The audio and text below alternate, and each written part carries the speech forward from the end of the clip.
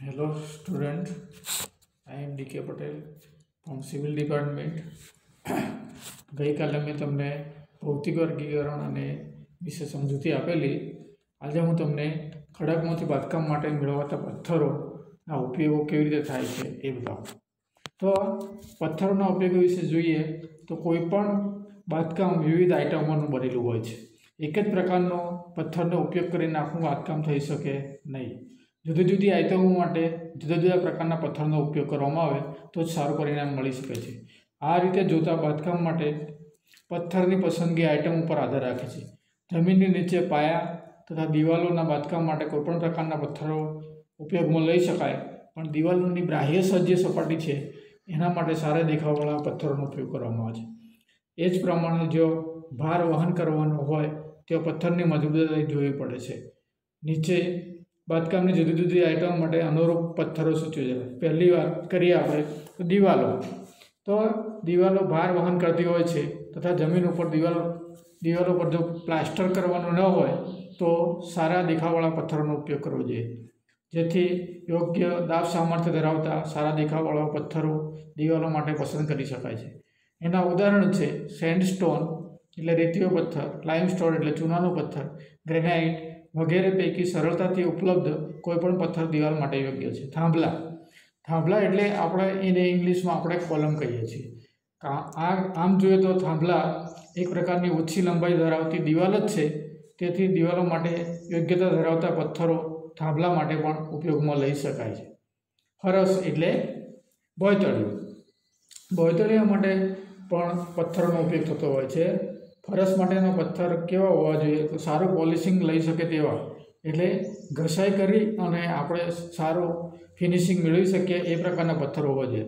વળી હવે તો ખંડની દિવાલોને અનુરૂપ રંગીન ફરસ પણ પસંદ કરવામાં આવે છે. તેથી ફરસ માટેના પથ્થરનો રંગ તેમજ દેખાવ બંને સારા જોઈએ. આરસ પોલીસ કોટા તથા સ્લેટને આ માટે યોગ્ય ગણી શકાય છે. પાર્ટીશન દિવાલો.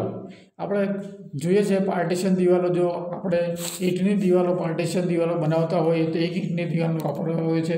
અહીંયા પાર્ટીશન દિવાળાની અંદર પાતળા પથ્થરોનો ઉપયોગ કરવામાં આવે છે. આ પથ્થરો સુવાળા એટલે સ્મૂથ હોવા જોઈએ તથા યોગ્ય દેખાવ ધરાવતા હોવા જોઈએ. આરસપાણ તથા સ્લેટ આ પ્રકારના પથ્થરો યોગ્ય હોવાથી ગણી શકાય છે. કોન્ક્રીટ કોન્ક્રીટ માટેના એગ્રીગેટ્સ જોઈ શકાતા નથી, એટલે તેમાં સારો દેખાવ ન હોય તો વાંધો નથી. પણ જરૂર પ્રમાણે સામર્થ્ય ધરાવતા હોય છે. સામર્થ્ય એટલે મજબૂતાઈ ધરાવતા હોય છે.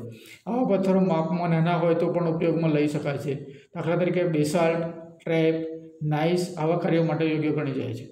રેલવે બેલાસ્ટ તમે રેલવે જોઈ હશે રેલના પાટા. તો રેલના પાટા નીચે સ્લીપર હોય છે. અને સ્લીપરને લીધે જે કપચી જેવો ભાગ વાપરવામાં આવે છે, એને રેલવે બેલેસ્ટ કહેવામાં આવે છે.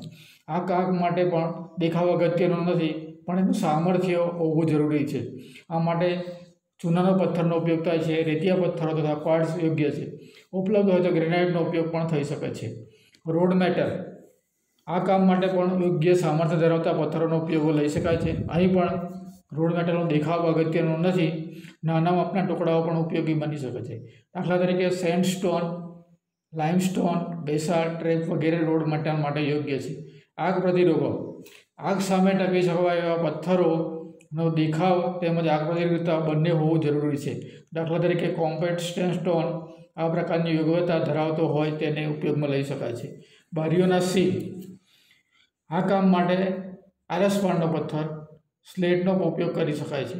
દેખાવ આકર્ષક બનાવવો હોય તો પોલિશ ગ્રેનાઇટનો પણ ઉપયોગમાં લઈ શકાય છે. ઔદ્યોગિક વિસ્તારોમાં એટલે ઉદ્યોગોવાળા વિસ્તારની અંદર કોમ્પેક્ટ સેન્ડસ્ટોન, ગ્રેનાઇટ આ માટે ઉપયોગી છે. આ મકાનો મોટા હોય છે. બાંધકામ અને યંત્રોનો વજન સહન કરતા હોય છે. તેથી પથ્થરનું દાબ સામર્થ્ય પણ વધુ હોવું જોઈએ. હવે કોતરણી કામો તો કોતરણી કામો જે જગ્યાએ ધાર્મિક સ્થળો હોય છે, એ જગ્યાએ કોતરણી કામોવાળા પથ્થરનો ઉપયોગ કરી શકાય છે. આ કોતરણી કામો આરસપાણ સેન્ડસ્ટોન તથા ગ્રેનાઇટ આવા કામ માટે ઉપયોગી ગણી શકાય છે. સુશોભિત કામો, એટલે આપણને દેખાવમાં આકર્ષક હોય એવા પ્રકારનું હોય કામો, તો એને સુશોભિત કામો કહેવામાં આવે છે. ગ્રેનાઇટ મજબૂત હોવાથી ખર્ચાળ બને, પણ દેખાવ સુંદર લાગે છે. પથ્થર એટલે મજબૂત હોવાથી ખર્ચાળ બની છે. એબટમેન્ટ. વધુ પડતું વજન કરી શકે તેવા પથ્થરો યોગ્ય છે. આવા કામો માટે નાઇસ તથા અન્ય પથ્થરનો ઉપયોગ કરી શકાય છે. રિટેનિંગ વોલ બન રિટેનિંગ વોલ એટલે એક પ્રકારની દિવાલ છે. આ દિવાલ માટીની ધસી પડતી અટકાવવા માટે બનાવવામાં આવે છે. એનો ઉપયોગમાં ગ્રેનાઇટનો ઉપયોગ કરી શકાય છે. છાપરાનું આવરણ.